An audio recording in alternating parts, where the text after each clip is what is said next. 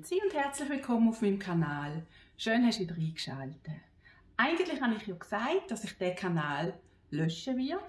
Werde ich jetzt aber nicht machen. Und zwar habe ich letzte Woche äh, einen wahnsinnigen Sprung gemacht. Das hat viel Aufrufe gegeben. Ich habe neue Abonnenten dazu gewonnen und darum wird der Kanal weiterlaufen. An alle neuen Abonnenten, die hier sind, herzlich willkommen und merci vielmals fürs Abonnieren. Weiterhin freue ich mich natürlich über jedes Abonnent, da ihr mich damit unterstützen könnt und natürlich über jedes Like. Heute möchte ich dir ähm, etwas zeigen, wo fast kein Geld kostet. Und zwar, es geht um die Dekoration dahinter. Das ist ein Ast, den ich im Wald gefunden habe, auf dem Spaziergang.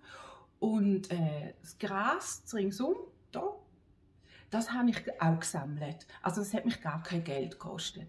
Die Wolle habe ich wie immer aus dem Brockenhaus geholt und dann ein bisschen Acrylfarbe und Spiegel sind im Übrigen äh, Untersetzer für Tassen oder Gläser. Das habe ich im Dekorationsbedarf gefunden.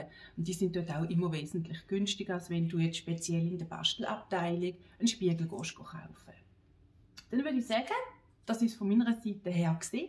Ich wünsche dir viel Spaß beim Zuschauen. Es soll wie immer Inspiration für dich sein. Wenn du Fragen oder Anregungen hast, schreib mir es bitte in die Kommentare und ich werde dir sehr gerne beantworten.